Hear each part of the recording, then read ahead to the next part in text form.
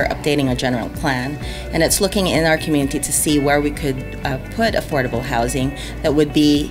that would conform with what's good for our citizens and for affordability in our community. I think this will address definitely the need that I hear from citizens all the time that they can't find affordable housing, and these are families that need it, and so I'm glad that we're addressing it.